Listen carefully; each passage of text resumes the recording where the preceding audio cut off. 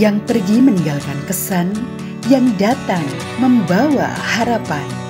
Bertempat di The Bujil Resort and Convention Ungaran, BPS Provinsi Jawa Tengah menyelenggarakan pisah sambut Kepala BPS Provinsi Jawa Tengah pada Kamis 18 Juli 2024. Acara ini bertujuan sebagai wujud apresiasi kepada Inspektur Utama BPS Dadang Hardiwan atas dedikasinya selama menjabat sebagai Kepala BPS Provinsi Jawa Tengah periode 2023-2024 serta untuk memperkenalkan Kepala BPS Provinsi Jawa Tengah saat ini, Endang Triwahyuningsih.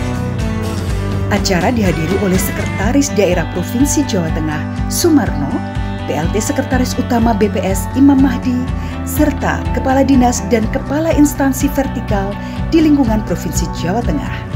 Seluruh pegawai BPS Provinsi Jawa Tengah juga turut hadir di kesempatan yang berbahagia tersebut.